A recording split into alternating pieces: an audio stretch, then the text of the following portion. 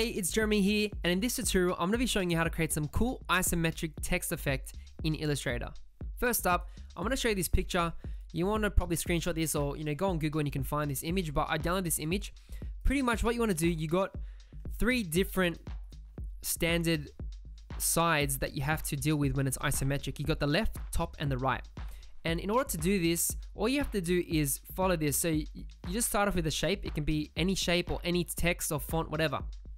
You want to scale it down to 86.062, shear this one by minus 30 and rotate it by minus 30 and you should get this here.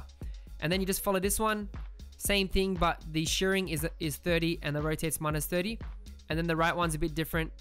This is the same and then this is 30 and 30. And you should get the each side so you got you know left, top and right. So for me, I made actions and I got another video which you can watch on my channel, but I've already made these and recorded it as a action. So I can just literally left click. So if I type in here, like this, and now if I go to my actions, I can literally click, click it and it's already good like that. And I can show you the other ones as well. So this just makes it really easy. Top, and then I click the action here, right. So you can literally make it within seconds, it's that easy. So I'm just gonna quickly how to show you how to do one side. So I'm gonna type typography, and I'm gonna do it in uppercase because it looks better, it's more readable when you do isometric. So I'm gonna follow this image and that's what we're gonna do. So, so first up, we wanna select our text. What we wanna do is we wanna go to Object, Transform, Scale, and then we wanna type this number in, 86.062. It's all a mathematical thing, so that's why we have to do it this way to get proper isometric. I'll press OK. You can see it, it did something. I'm gonna Object, Transform, and we're going to go to Shear. So we're gonna do minus 30. So type minus 30 on the shear angle. You can leave everything else as is.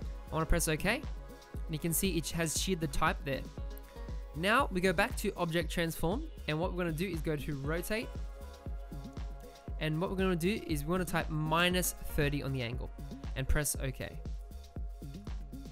So now you can see we have the left hand side of the isometric shape. You can see that and that's how you pretty much do it and I can I can still type on the font I can you know if I maybe I want to edit I can um, turn it into shapes and I can move stuff around you know and do some crazy weird stuff if I want.